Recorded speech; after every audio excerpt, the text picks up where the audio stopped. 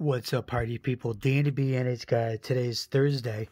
Um, I had one, two, three, four, five sales today, guys. First up is this Owl coffee mug, coffee cup, and this is by Natural Life. Um, yeah, guys, I picked this up for seventy-five cents, and I've had it for probably a couple years, guys. And this finally sold for twenty-three dollars ninety-nine cents, and um, this is under, it's going to be under a pound when I pack it up.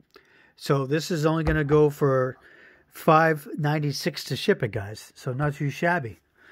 Next up is a Vineyard Vines men's um, button down short sleeve plaid shirt, guys.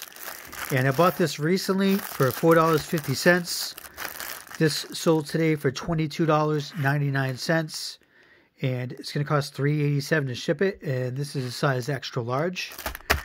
Uh, next up are some shoes that i've had for, for, for a while.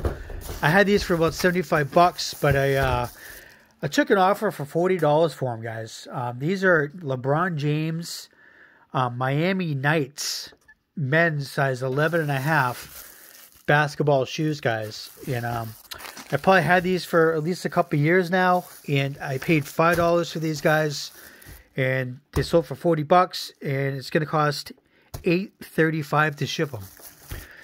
Next up is a uh, another one of these um, Refrigiwear men's puffer vests, and um, this is the second one I've sold, guys, and these sold really quick. So if you ever see that, pick it up. I was in on this for $4.50. This sold for $39.99.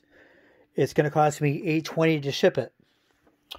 And last up is this Ketel One Vodka stainless steel shaker uh, for mixed drinks, guys. And I found this in my cabinet. I think it's probably for one of my ex girlfriends from back in the day.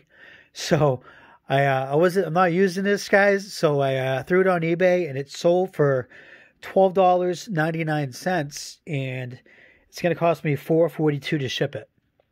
And uh, yeah, that's it for today so far. And um, thanks for watching, guys. We'll talk soon. Peace out.